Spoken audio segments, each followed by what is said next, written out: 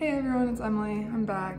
Welcome to the video. Today I wanted to discuss a couple different resources that I have found to be really helpful in continuing to kind of grow um, my UX knowledge, I guess. So I have some like up here on the screen I'll be referencing, but every week I think I'm gonna try to do a roundup of the best like resources that I've kind of found or articles that I've read or podcasts or whatever and share them. So this week I'll share five different um, resources.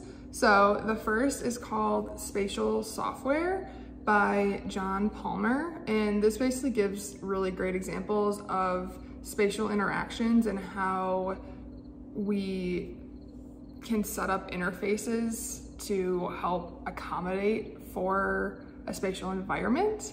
And I feel like that sounds very wishy-washy and I can't really explain it quite as well as the article does. But basically you have like your objects and your elements and then how they interact and what their properties are, you know, are different. And so just setting up an environment to accommodate for different types of spatial elements and how they interact with each other is one of the things that the article kind of goes through and highlights and gives different examples. So really recommend that one. I know I feel like I gave it a very bad pitch, but it's a very interesting um, talk. The other thing that I recommend is on Netflix, they have a show called Abstract. And if you are in design, you probably have stumbled across it. But I recently was having a conversation about typography and there was a typography typeface abstract episode. So I ended up watching it and I found it pretty helpful. Like it kind of went through the history of typeface design and just all the different things and how the designers like come up with new typeface and what kind of goes all into it and just found it super interesting because I never really learned too much about typography and typeface. It was more just kind of like a passing thing in school. So I found it super interesting to kind of learn more about that, but it's called Jonathan Hoefler Typeface Design and it's um, on Netflix. The show is called Abstract and that's just the episode name, but really recommend it. Um, it's just kind of how to develop it and how to use or like how to get that feeling and experience across and it's I found it super interesting, so hopefully you will too. Next one is a podcast, and it's called the Design Details Podcast, and the episode is Visual Design and Craft. And that's basically goes through and it's just a conversation um, about product designer interviews and how things kind of can break down in the interview process when you're trying to hire amazing product designers or UX designers, whatever, interchangeably used in this conversation. Um, but one of it goes through some of the, the tips that people see when trying to hire product designers, like maybe not being able to tell a story, going through your portfolio, some hidden gems that people really like to see in candidates but don't necessarily see a lot, such as like curiosity and kind of the ability to be able to distill complex problems down into a simple one sentence, um, just having those different abilities. So I don't know, I find it kind of interesting just to hear, okay, yes, I'm a designer, but like what do other designers that are hiring people want to know and want to see in the interview process? So particularly if you are trying to get into the field, or moving jobs, give it a listen. I thought it was pretty helpful. All right, and then the final resource that I recommend this week is, oh wait, that's only four. Fourth one that I recommend this week is called Big Tablets Are Coming, Microsoft Surface Studio and Giant iPads by Evan Miller.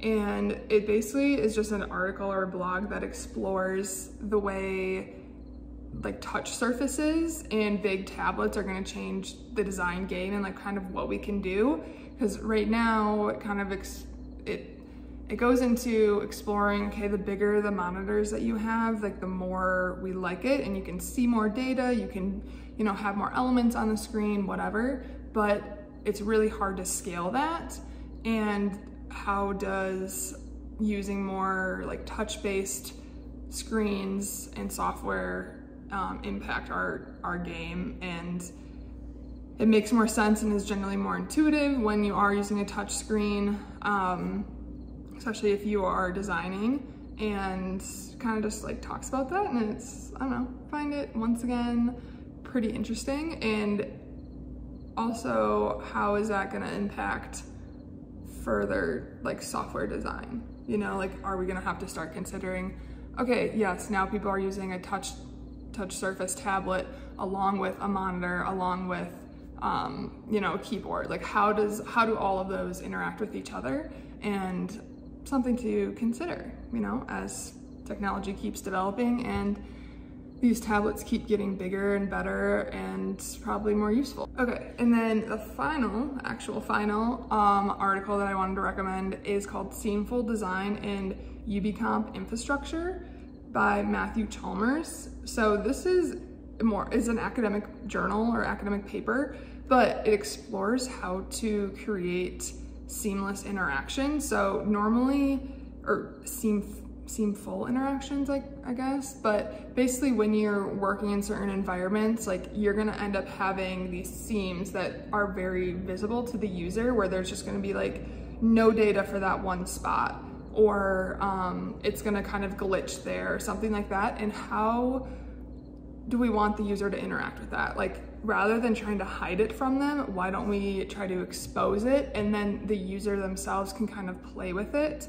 and manipulate it themselves. So rather than working just exclusively on the interface, they're also manipulating the infrastructure, like the seams of this environment that they're working in. So once again, found it super interesting, which is why I'm talking with you guys about it. But it's, I don't know, it kind of changes the way that you can think about things. Like rather than having something be a flaw, how can we actually bring that in and get the user engaged with that specific flaw and use it to our advantage. But I don't know, hopefully this video is helpful. Find some of these things interesting. If you liked it, please give it a big thumbs up, really supports my channel. Subscribe if you wanna see more videos and hope you have a great rest of your day.